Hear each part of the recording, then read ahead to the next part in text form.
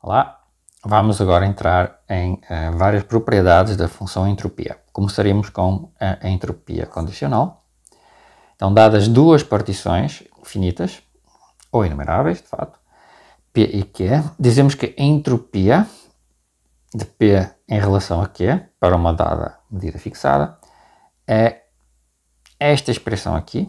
Isto aqui é a entropia condicional de uma partição em relação à partição uma partição P em relação à partição Q. Aqui está a probabilidade condicional, PQ. É condicionado, isto é a probabilidade condicional de P dado Q tradicionalmente. Né? Muitas vezes em probabilidade a gente vê esta notação aqui. Né? Isto é chamada então a entropia condicional de uma partição em relação a outra. Portanto, essa entropia mede a informação adicional fornecida por P quando já conhecemos a partição Q. Ok? Se eu representar por este M a partição trivial, partição cujo só tem um único átomo, que é o espaço inteiro, então é claro que uh, a, entropia, a entropia condicional da P em relação a esta partição trivial é a mesma entropia, é a entropia da P. Né? E se P e Q forem independentes, então automaticamente eu obtenho que a entropia de P dado Q é igual à entropia de P, porque isto aqui né, é exatamente a entropia de P. Okay, podem verificar. Então, precisaremos agora de algumas propriedades de entropia condicional para entendermos a definição uh, da entropia de um sistema dinâmico. Nós ainda não introduzimos dinâmica aqui neste argumento. Né? Então, dadas partições P e Q, dizemos que a P é menos fina que o Q, escrevemos deste jeito. Se todo elemento de Q está contido em algum elemento de P. Ok? A menos de conjuntos de medida nula.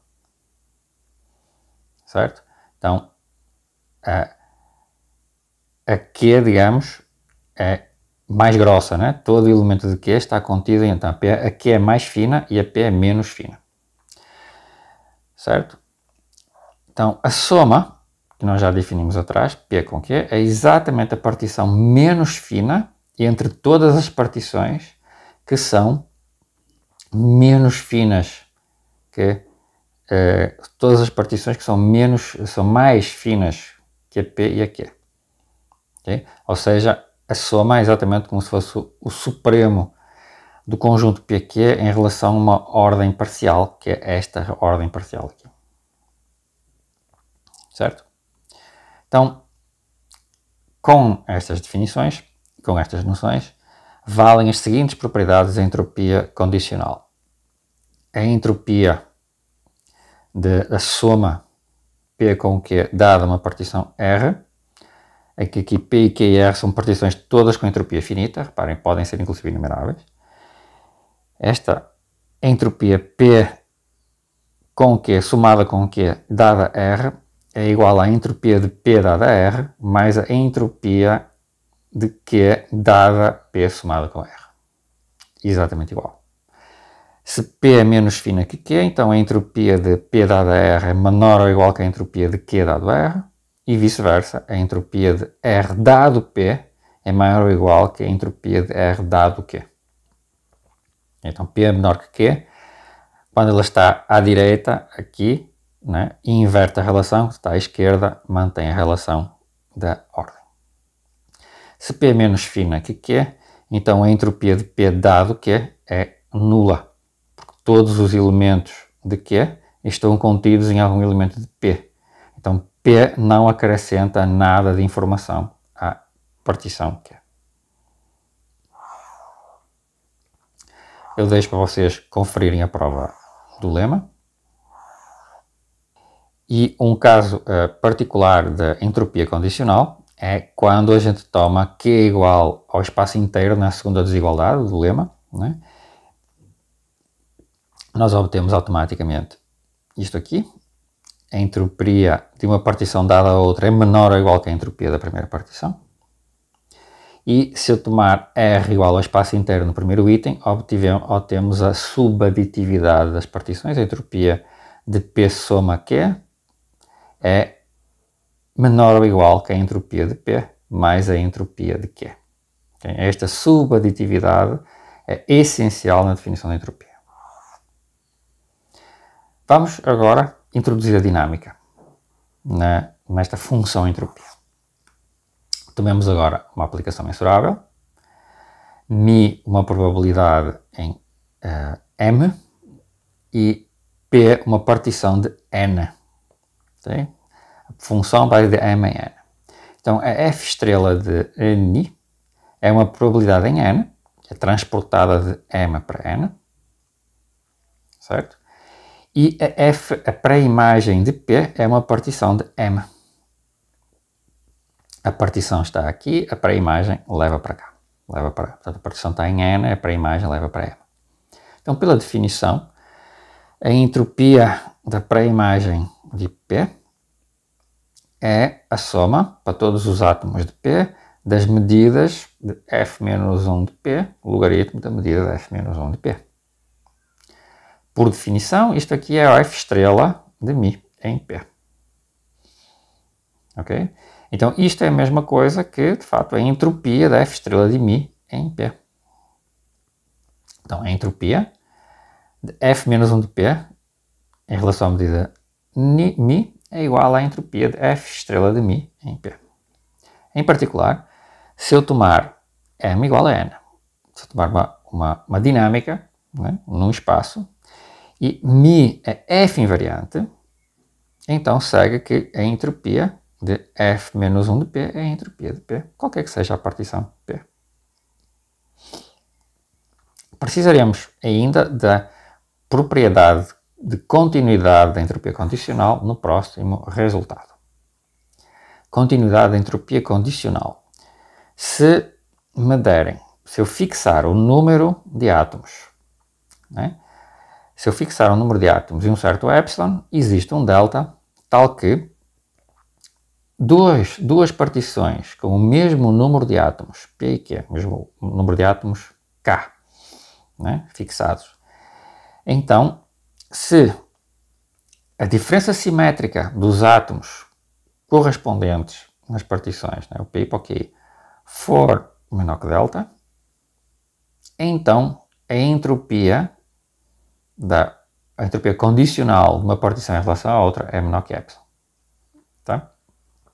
Isto está relacionando né, a entropia, a entropia condicional né, com a diferença simétrica de P1 com Q1, P2 com Q2, etc. Se a diferença simétrica for pequena, então a entropia condicional é pequena. De fato vale uma continuidade no sentido né, habitual de análise. Para todo epsilon existe um delta, tal que a diferença simétrica é menor que delta, então a entropia condicional é menor que epsilon. Okay? E isto vale qualquer que seja o número de um, átomos das partições, mas o número de átomos tem que ser idêntico. Certo? Eu deixo para vocês verem a, a prova do lema. Refinamentos dinâmicos de uma partição. Agora sim, definimos agora a entropia com dinâmica tomamos uma, uma função mensurável que preserva uma certa probabilidade e uma certa partição é? que é fixada. Definimos agora Pn como sendo a soma das partições dadas pelas pré-imagens de P, né, com iterados de 0 até n-1. Portanto, é a soma de f i de P, quando o i vai de 0 até n-1. Isso é o Pn. O que nós estamos fazendo é refinando dinamicamente a partição inicial P. Portanto, eu pego na P, P que é P1, neste caso, e a P2 vai ser P somado com F menos 1 de P. A P3 vai ser P somado com F menos 1 de P somado com F menos 2 de P, e assim sucessivamente. Okay? Claramente, a Pn é menos fina que a Pn mais 1, para todo o ano merologismo, nós estamos interceptando, né? Cada, aumentamos o ano, temos mais interseções, e portanto o, a entropia da PN é uma sequência não decrescente, ela garantidamente não decrescente. Mas ainda observem que um átomo, um, o átomo que contém X no enésimo refinamento da P, okay? o também é chamado de enésimo refinamento, o átomo que contém o P no enésimo refinamento é exatamente a interseção dos átomos que contêm P na primeira partição inicial, o átomo que contém F de X na pré-imagem da partição inicial, etc., o átomo que contém Fn-1 de X na n-1ésima pré-imagem da função P. É só vocês traduzirem o que é que significa esta soma. Ok? Isto implica a seguinte propriedade característica dos refinamentos. Y está no átomo que contém X do enésimo refinamento da partição, se isso ou se, ou seja, isto é a mesma coisa que dizer que o, o FI de Y e o FI de X estão no mesmo átomo da partição original para I de 0 até N-1. Ok? É super importante que vocês façam um, um desenho, um esquema e entendam esta relação. Ou seja, os átomos do enésimo refinamento são formados pelos pontos cujas órbitas visitam os mesmos átomos da partição inicial nos primeiros n iterados. Ok? Então, por exemplo, se eu olhar para P2, que é P somado com F-1 de P. Então, se eu quiser olhar para o átomo que contém X, né, eu vou ter que olhar para o que é? Bom, os, os elementos, os elementos de teu átomo de P2 que contém X. Ok, mas quais são os átomos de P2?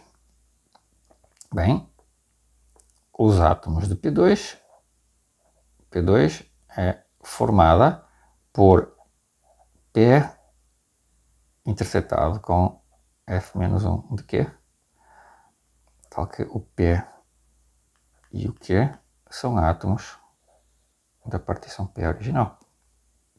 Então eu quero que o X esteja nesta interseção. Quero que o X esteja neste átomo. Né? Significa, tanto se o P2 de X né, é aquele átomo P interceptado com F menos 1 de Q que contém o X. Né? Logo, o X tem que estar em P e o F de X tem que estar em Q. Okay? E isso nos traduz já que já temos aqui né, a tradução de que o P2, se eu aqui colocar um 2, né, o P2 de x é esta interseção. Significa exatamente isto que eu conseguia fazer aqui. E o resto segue por indução. a partir daqui, nós temos a, a, um resultado essencial que é a subaditividade da entropia dos, uh, sobre a sequência dos refinamentos. A entropia do m mais n-ésimo refinamento da partição é menor ou igual com a entropia do n-ésimo mais a entropia do m-ésimo, qualquer que seja mn maior que 1. Porquê? Bom, porque pela definição que nós vimos, pelo que nós vimos no slide anterior, o P de m mais n, refinamento m mais n ésimo de P, é a mesma coisa que eu pegar no m-ésimo refinamento e somar com a pré-imagem m-ésima do enésimo refinamento. Okay? Isto é fácil de verificar. Portanto, a entropia do PM mais N é menor ou igual que a entropia do PM mais a entropia do F menos M do PN. Mas como nós já vimos, se mi é F invariante, então isto aqui é a entropia do PN. Então ficamos com a entropia de PM mais a entropia do PN. E temos a subaditividade desta sequência. Ok? Então, se nós pensarmos nesta sequência aqui, a sequência da entropia dos PNs, nós temos que esta sequência é subaditiva. Ou seja, isto que está aqui está nos dizendo que há N mais M é menor ou igual que AN mais AM. Tem? Isto é o que significa a subaditividade. E nós já sabemos que, neste caso, né, é, como nós temos é, a subaditividade, então 1 sobre n da sequência n tem um limite. Então, com este lema faz sentido definir então, a entropia de f com respeito à medida μ, f invariante, e partição p, como este limite. A entropia de f em relação a p, com respeito à medida μ, é o limite de 1 sobre n a entropia de, de enésimo refinamento. Isto coincide, como nós já sabemos, com o ínfimo de 1 sobre n a entropia de Pn. Observemos que esta entropia cresce quanto mais fina for a partição, de fato, né? se o, o Pm é menos fino que Q, então o Pn vai ser menos fino que o Qn e, portanto, a entropia do Pn é menor ou igual que a entropia do Qn. Logo, quando eu tomar limites, a entropia em relação a P é menor ou igual que a entropia em relação a Q se P for menos fina que Q. Finalmente, a entropia do sistema dinâmico F em relação à medida invariante μ, escrita deste jeito, H μF, é o supremo das entropias sobre todas as partições com entropia finita, ok? Em que nós tomamos partições finitas ou inumeráveis aqui. E de fato basta considerar partições finitas. Isso é uma, um dos exercícios da lista de exercícios do curso. Basta considerar de fato aqui partições, eu posso colocar aqui partição finita, aqui, neste supremo. Ok? Então, a partir de agora, né, temos já vimos a definição e à primeira vista parece muito complicado e trabalhoso calcular a entropia de uma dada transformação que preserva uma dada medida de probabilidade pela definição. Né? Mas isto né? Isto é semelhante ao estudo da integral de Riemann ou de Lebesgue. Apesar da definição formal envolver vários passos geométricos e analíticos e uma passagem ao limite, na realidade nós raramente precisamos calcular um dado integral pela definição. É? Nós sabemos isso de cálculo e de análise. Porque em geral usamos ou o teorema fundamental do cálculo ou alguma propriedade conhecida da análise infinitesimal para simplificar e reduzir o problema a outro mais simples já conhecido. Precisamos, portanto, desenvolver alguma teoria sobre a função entropia para depois é, arrumarmos um jeito de calcular explicitamente a entropia em casos concretos. Okay? Vamos em seguida ver alguns exemplos do uso desta de definição que nós podemos uh, levar até ao fim.